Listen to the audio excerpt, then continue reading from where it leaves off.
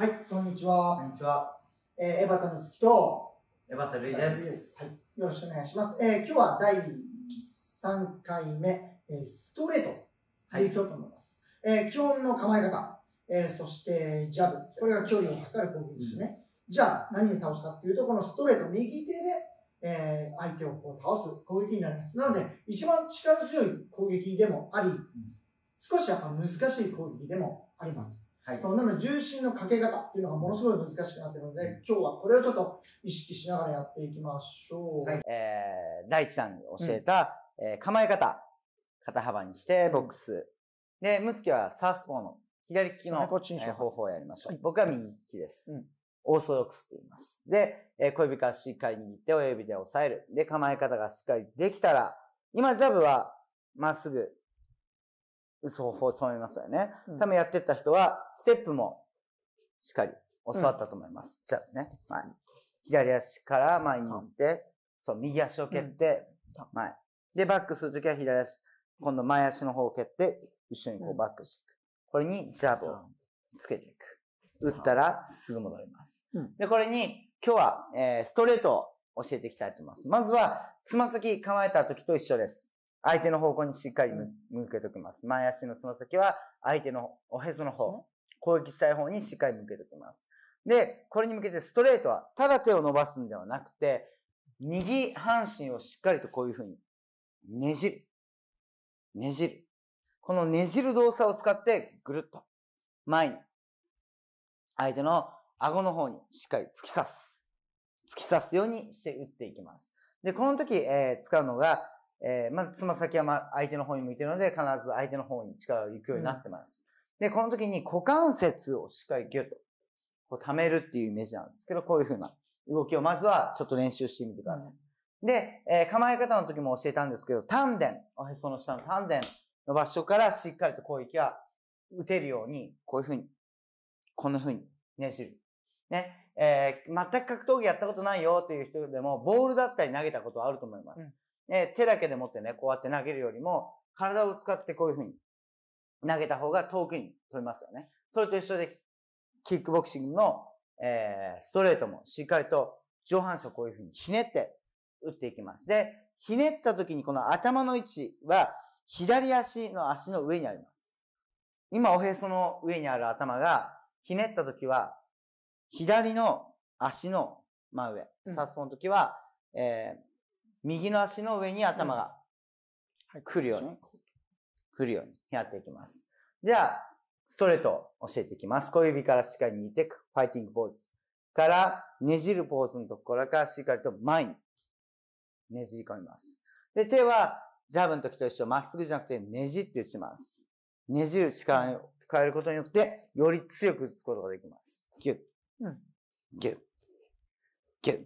で、この時にささっき言ったようにおへその下、丹田の方からしっかり打つようなイメージです。手は後からついてくるイメージ。手で打とうとすると、こういうふうに前につんのめったり、前に力が、えーつんのめってしまうので、お腹、おへその下、丹田のとこからしっかりと打つように。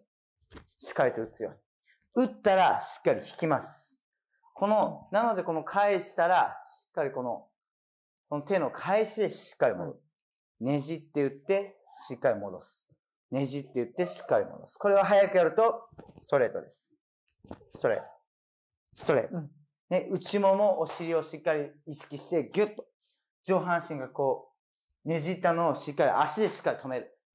ね、で、つま先はまっすぐ向いてるので、力の向きは相手の方向にまっすぐ強く打つはずです。これをじゃあ5回一緒に行きたいと思います。打ったら戻る。打ったらすぐ戻る。打ったらすぐ戻る。打ったらすぐ戻る。あと1回。打ったらすぐ戻ります。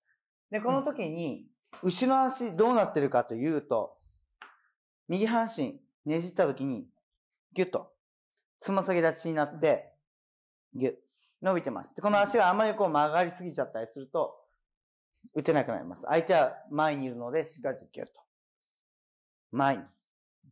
前に押すようなイメージで、打っていきましょう。つま先はねじる。ねじる。つま先立ちになって、うんそう、しっかり前に押すようなイメージで、打っていきます。もう一度、えー、構えていって、打っていきます。後ろ足をしっかりと、押し出すようなイメージでねじります。戻る。打ったら戻る。3、4、5。で打っていきましょう。で、この時にね、よくいるのが、左手、こう右を半身ひねるときに左手が下がっちゃう人が多いです。うんこれは手の力ばっかり使ってる人に多く見られます。体を使って打つので、手の力ばっかりで打つと、こういう風に打っちゃったりすると、相手からの攻撃をもらいやすくなっちゃうので、必ず、この回線の、回線して打つイメージ。こっちは完全にうんガードしたまま打っていきます。はい。これを意識しながら、ガードをしっかり固めて、自分が打ちたい時だけしっかり打つ。